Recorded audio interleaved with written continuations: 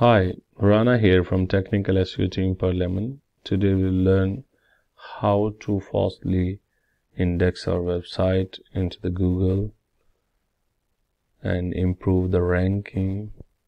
So I'm using a plugin, LiteSpeed Cache for this purpose. So click on the LiteSpeed Cache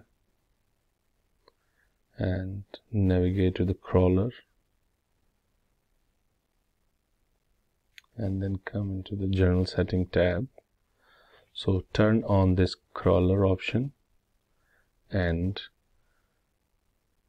you have to minimize the delay in microseconds. So uh, for my website I have set this to the 200 and the run duration is also 200 and I am using the intervals between the robots.